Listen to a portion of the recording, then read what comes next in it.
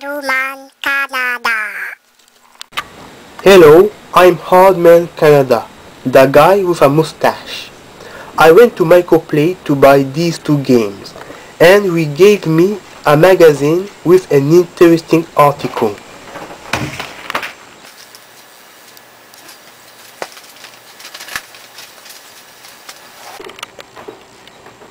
Microplay is a popular video game store in my region. The interesting article I, I read is called How do you define success for a game? A game with a commercial success means a game that sold millions of copies.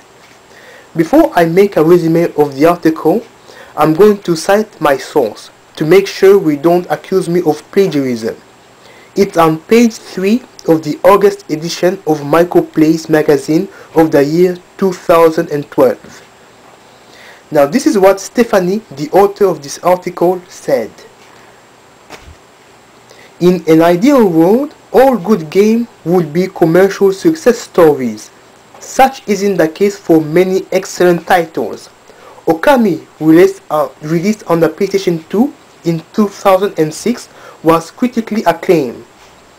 But with about 600,000 copies sold, it was, from a commercial standpoint, the least successful game of that year. And then there is Psychonaut, which despite review praising it for its many inno innovative features, saw only 100,000 takers.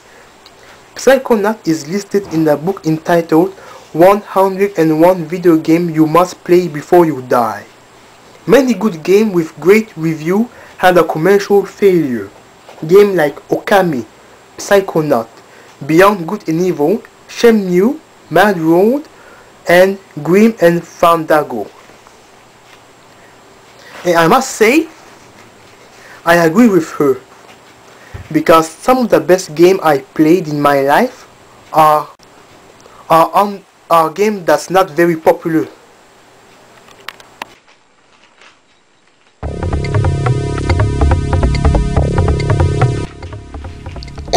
I'm How do we say this is a red apple in Spanish?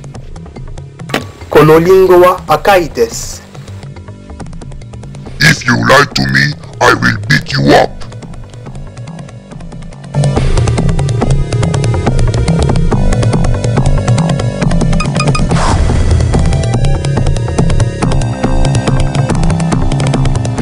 Here's an example of what the article talks about. Remember, you may not agree with me and some of you will say, are you out of your mind? You can explain your disagreement on the comment section. Assassin's Creed sold millions of copies, but I prefer Valkyria Chronicles. New Super Mario Bros. sold millions of copies, but I prefer Gourmet. Sims sold millions of copies, but I prefer Trauma Center. Final Fantasy XIII sold millions of copies, but I prefer Tales of Grace. Call of Duty Modern Warfare 2 sold millions of copies, but I prefer Resistance 3.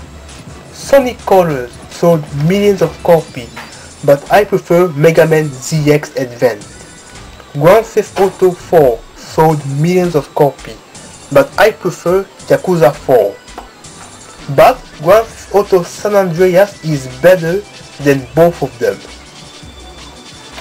Batman Arkham Asylum. Yeah. And this is Street Fighter the movie, the game. I don't like this game. Batman Arkham Asylum is better. It's better than Killer Instinct and it's better than Ultimate Mortal Kombat 3. And you know why? Because he's the Batman. That's why. No one can beat the Batman. Tetris sold millions of copies, but I prefer Puyo Puyo. Red Dead Redemption sold millions of copies, but I prefer Catherine.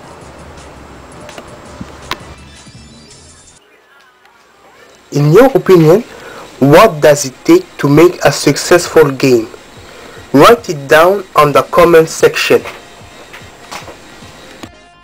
For me, a successful game is based on its quality and originality, not on its popularity or game sales. And if the game have a woman as a main character, she has to be beautiful enough to be considered my rival in a beauty contest. Don't underestimate a baldy guy with a mustache. Remember, it's quality over quantity. Now I must run away before Goro comes back.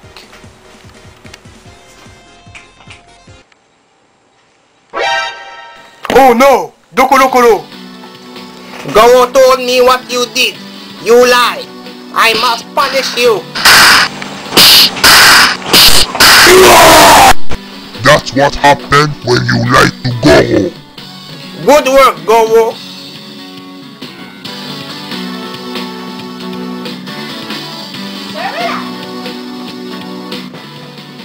My computer can see people's dream. I must analyze his mental health because he thought Sheep Man in Mega Man 10. This helmet is linked to my computer.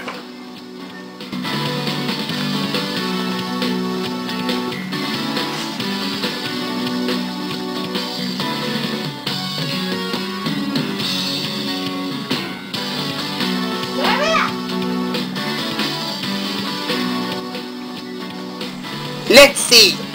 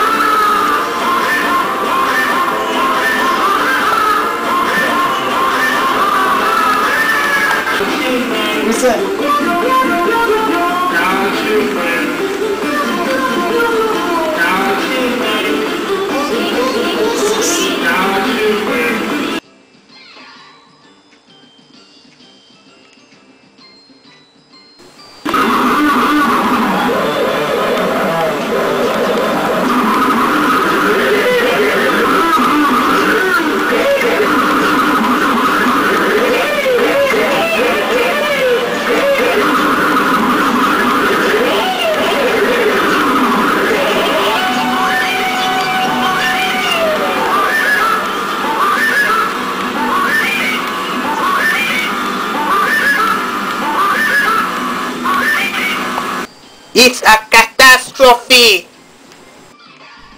He's crazy.